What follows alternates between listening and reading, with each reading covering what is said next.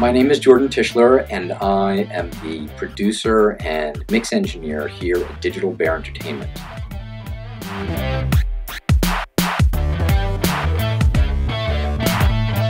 I'm glad you asked that we can actually help a lot with that. We have a recording booth and we have a number of nice famous name microphones like uh, the U47 and the 67 and we have a large uh, stable of vocalists males and females that we work with all the time.